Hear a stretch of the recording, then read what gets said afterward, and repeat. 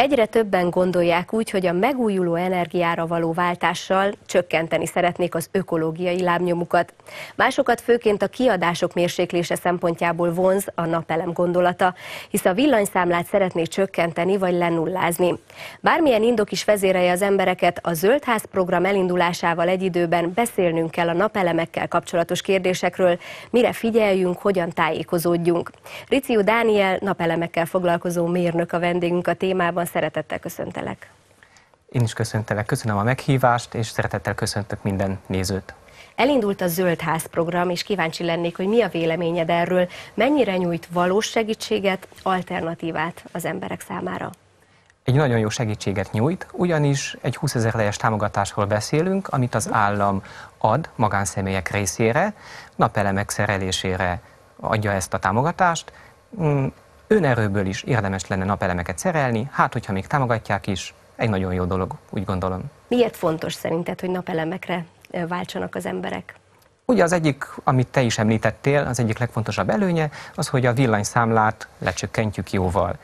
Természetesen nem hanyagolhatjuk el azt is, hogy valamivel a környezetet is védjük, ugyanis az az energia, amit a napelemek megtermelnek, arra már nem kell szenet elégetni, vagy más káros anyagokat kibocsájtani. Itt arról van szó egyébként, hogy teljes mértékben áttérnek az emberek a napelemmel való energiafelhasználásra, vagy pedig ezt megosztják ugye a hagyományossal?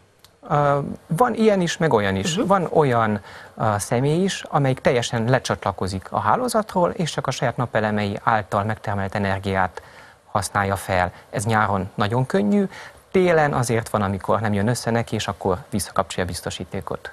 Mit mondhatunk el, ugye most egy kicsit az árnyoldalairól is beszélhetünk, hogy milyen korlátai vannak esetleg a napelemeknek, milyen esetekben alkalmazható ez a fajta technológia, illetve vannak-e olyan esetek, amikor egyáltalán nem javasolt? Hogyha van villanyfogyasztónk, elektromos fogyasztónk a házban, akkor bármilyen esetben használható és ö, alkalmazható a napelem technológia. Természetesen vannak hatékonyabb vagy hatékonytalanabb szerelések. A legfontosabb dolog az, hogy milyen irányban állnak a napelemek. Ugye délen süt a legjobban a nap, déli órában, hogyha déli irányban szereljük fel a napelemeket, akkor azok fognak a legjobban termelni. Ne legyen árnyékos hely, ahol szerelünk, ne legyen um, olyan hely, ahol nagyon poros a környezet, és más esetben mindig csak előnyökkel jár. Tehát honnan tudhatja valaki magánszemélyként, hogy számára megéri napelemet szereltetni, átváltani erre? Megéri. Mindenkinek megéri. Mindenkinek megéri. Hogy mennyire éri meg, és hogy mennyit tud ez segíteni, ezért vannak a szakemberek, ezért vagyunk mi, hogy segítséget nyújtsunk, és kicsit bonyolult a téma, ugyanis valamilyen mérnöki tudás kell ahhoz, hogy egy jó rendszert kiszámoljál, de már van elég sok cég, aki erre szakosodott. Kell-e számolni bizonyos kockázati tényezőkkel, hogy mire kell figyelni pontosabban, hogy ezeket kizárjuk esetleg?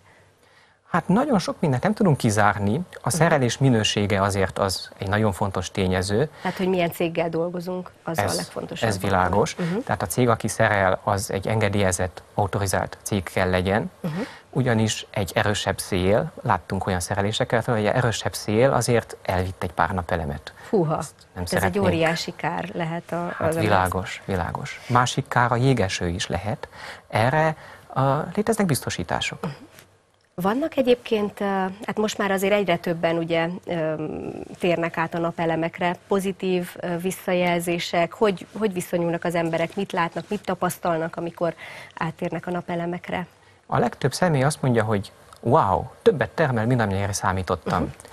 Mondjuk, hogy ezek azok az emberek, akik időben szereltek, tehát például tavasszal, nyáron, amikor elkapták azokat a napsütéses órákat, amikor a legjobban termel a rendszer általában az emberek meg vannak elégedve. És hogyha most egy kicsit a zöldház programmal is beszélünk, ahol van egy állami támogatás, tehát az önrész az kevés, igen. akkor csak előnyökkel jár ez a dolog. Tehát itt akkor magánházak szempontjából is, illetve intézmények szempontjából is mindenképp megéri. Ide a Zöldház programba mindenki pályázhat, gondolom. Sajnos, sajnos nem. nem. A Zöldház program csak magánszemélyek uh-huh. és teológiai intézmények, tehát parókiák, uh-huh. Szól.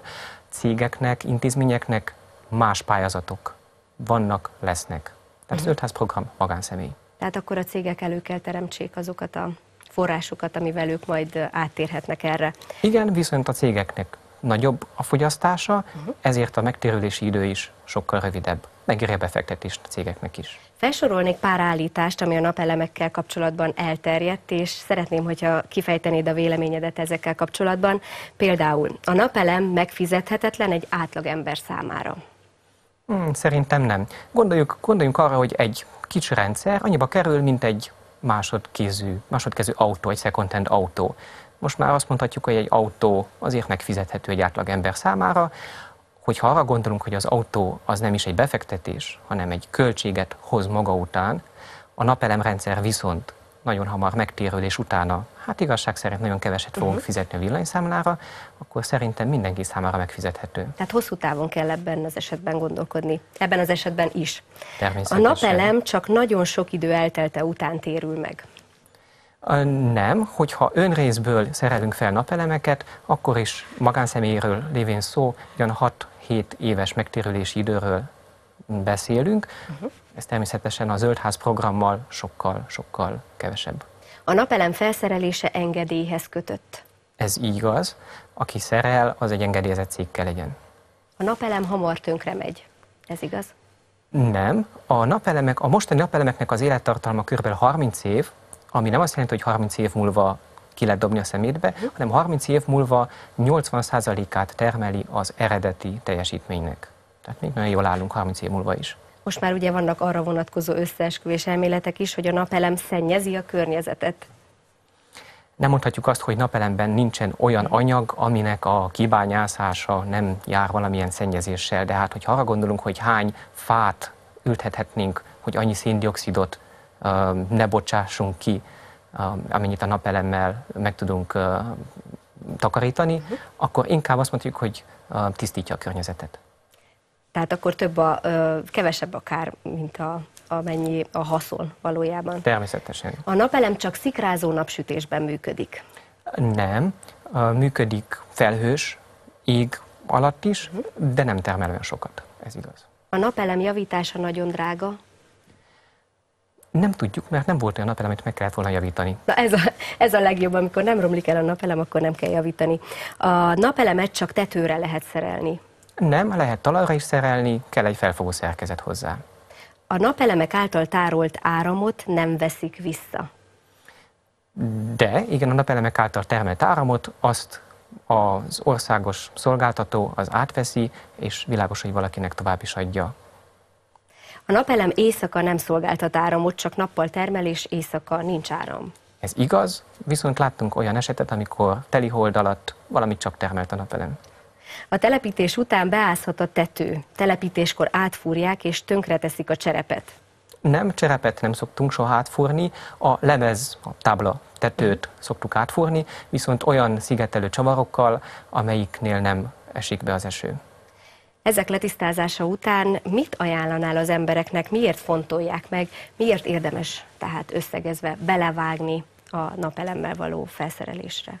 Arra fektetnék hangsúlyt, hogy a Zöldház programa zöldház programba jelentkezzenek. Nincsen nagyon sok lehetőség. Ahogy kiszámoltuk, mi kb. 2000 um, projektet fognak finanszírozni megyénként, ami, ha jól gondoljuk, nagyon hamar el fogják kapkodni. És itt, aki hamarabb jelentkezik, annak van nagyobb esélye, hogy nyerjen.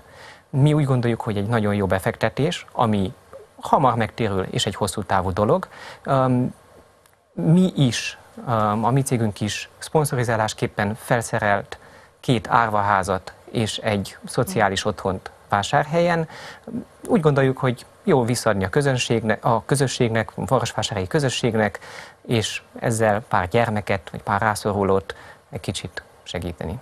Remélem, hogy sokan példát vesznek erről a cselekedetről, és nagyon szépen köszönöm. Hasznos tippeket kaptunk szerintem a nézőink számára is, főleg, hogy most fut ez a program, ugye, és minél több információra szükség van. Köszönöm szépen a beszélgetést. Köszönöm szépen a meghívást.